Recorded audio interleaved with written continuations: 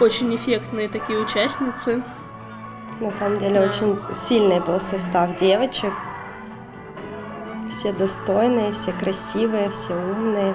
Химчанка Юлия Маковецкая показывает самые яркие кадры своего выступления. Только что она вернулась из Ростова-на-Дону, где проходил конкурс красоты, элегантности и успеха «Миссис Россия Интернешнл 2024». Юлия достойно представила наш городской округ и стала обладательницей сразу четырех титулов. Это лента «Миссис Россия Интернешнл», уже непосредственно конкурса. А, Там я а, взяла первую вице-миссис.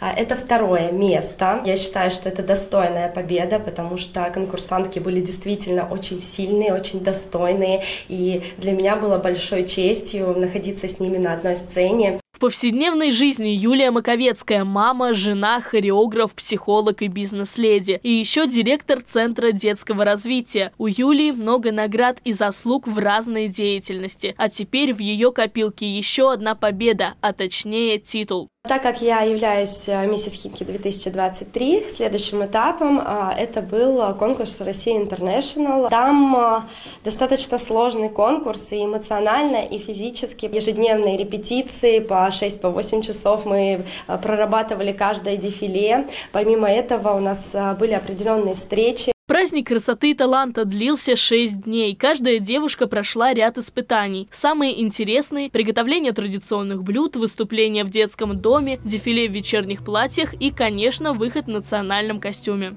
Номер один.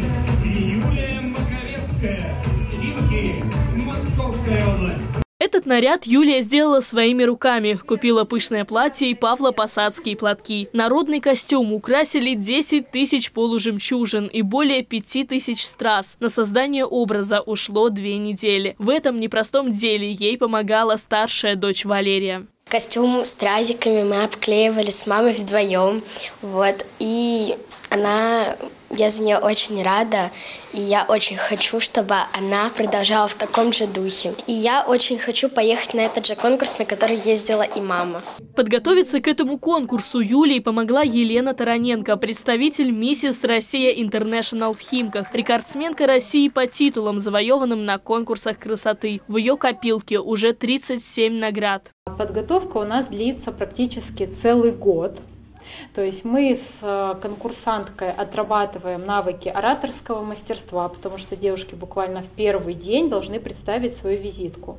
Также мы готовим и видеовизитку, которую смотрят члены жюри и гости финала. Мы отрабатываем обязательно навыки дефиле, продумываем творческий номер. По правилам конкурса Юлия Маковецкая, обладательница титула «Первая вице-миссис Интернешнл Россия», продолжит принимать участие в разных мероприятиях и благотворительных акциях. Юлиана Мазырина, Вильфред Демковский. Новости Химки ТВ.